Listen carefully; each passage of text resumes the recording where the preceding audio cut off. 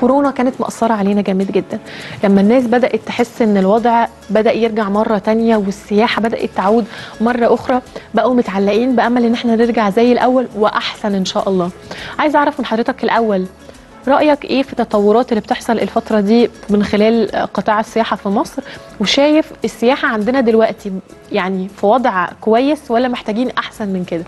خلينا أقول الأول إنه آه، إحنا بدأنا نحقق معدلات يعني جيدة. جيدة بنسبة إنه بعد سنتين آه، بنسميهم سنين عجاف. آه، ما كناش متوقعين إنه وانس إن هنبدأ نبدأ ب- ب- بالضفك ده أو بالوفود الكبيرة دي. آه، جدير بالذكر شرم الشيخ الغردقة كم من الوفود السياحية من جنسيات كتيرة بريطانية ألمانية آه، روسيا بدأت ترمي آه، أرقام وفي تعاقدات بدأت تتم آه، لشركات كبرى. عايز أقول إنه لأ بدأنا نحقق وال 4.9 آه، آه، آه، مليون. سائح في النص الأول. ده رقم جيد.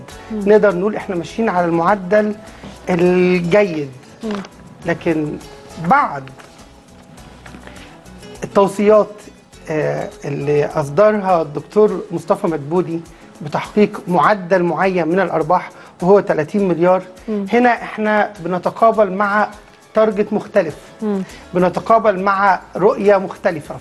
الرؤية دي محتاجة مقاومات محتاجة آه، أدوات نشتغل بيها محتاجة فكر مختلف لأن إحنا النهارده باصين في حتة مختلفة.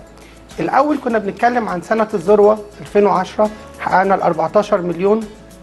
وكان ال- الإيراد آه، يقترب من ال 14 مليار دولار ودي كانت أعلى نسبة تقريبا أرباح ووفود سياحية اتحققت. وكان ده ال target اللي دايما إحنا تخطينا أو قد نتخطى سنة الذروة. النهارده إحنا رايحين في حتة تانية خالص. 30 مليار هيحطونا في حتة معينة. لو هنتكلم عن الكم فإحنا نحتاج أن نتخطى ل 25 مليون سائح.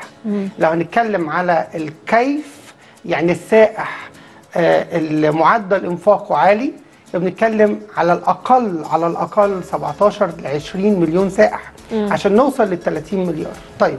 طب معلش أنا عايز أسأل حضرتك سؤال. يعني بعيدا طبعا عن كورونا وعن الأزمة الاقتصادية اللي موجودة في العالم كله وعن كل الظروف الجديدة على العالم كله الفترة دي. ممكن أعرف عدد آه، السياح كانوا بيجوا لمصر قبل آه، عامين الكورونا والاقتصاد وكل الكلام ده كان بيبقى متوسط كام مثلا؟ بصي إحنا نقدر نمشيها كده من 17 18 19 بنتكلم 11 12 13 وفاصلة كذا. يعني آه. يعني بنتكلم في في الرينج ده. كان في تصاعد. وعلى فكرة كان في تنبؤات. إحنا لولا سنتين الكورونا كان المفروض نتخطى أرقام لأن كان في جهود مبذولة وما زالت الجهود دي مبذولة. ومتطورة لازدياد الوفود السياحية. فأنا عايز أقول إنه لا إحنا كنا بادئين من طبعا سنين صعبة بعد الثورة آه، 2013 ال- صحيح. الوضع الأمني اللي كان آه، آه، عندنا برضو ثلاث سنين وأربع سنين كانوا صعبين جدا على مصر من 2011 لحد 2015 تقريبا لما بدأنا. نستقر.